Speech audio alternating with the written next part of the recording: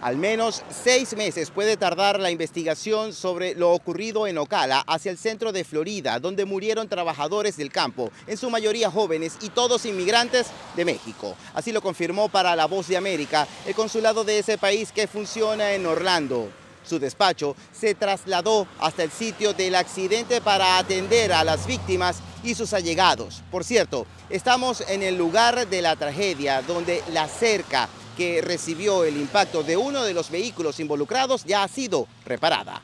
El autobús a bordo del cual viajaban los trabajadores mexicanos, que fue impactado por una camioneta en Ocala, localidad ubicada en la zona central de Florida, se encuentra bajo la custodia del Departamento de Patrullas de Carretera de Florida. Conversamos con uno de los sobrevivientes de este accidente, donde murieron ocho inmigrantes. Ni cómo agarrarse, de qué agarrarse. Y les digo, pues desafortunadamente unos amigos perdieron la vida. Y... Las autoridades reconstruyen el hecho. Los testimonios de sobrevivientes describen la magnitud del impacto ocurrido a las 6 y 30 de la mañana de camino a la finca donde trabajarían las 45 personas a bordo. No, lo que pasa es que le digo que trató de esquivarlo y estaba un árbol y pues retachó contra el árbol de costado y volteó el autobús pero es lo que pasó.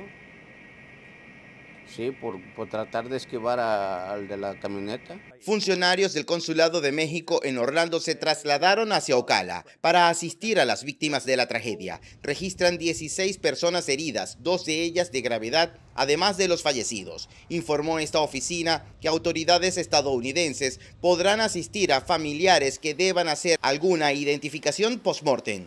Que eh, si lo requerían la identificación de cadáveres para convocar a algún familiar para hacer reconocimiento y trabajar una visa humanitaria por unos días para que viniera algún familiar.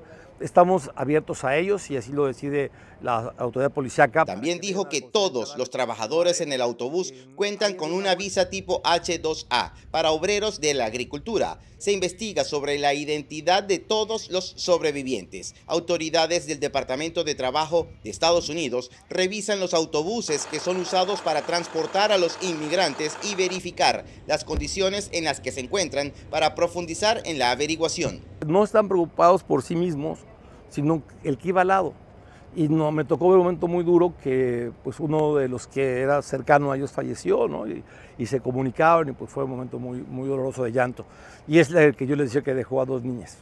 El presidente de México comentó sobre el lamentable caso. Fueron a trabajar contratados por un empresario mexicano estadounidense con visas de trabajo temporal. Eh, la Secretaría de Relaciones Exteriores está eh, atendiendo este lamentable caso.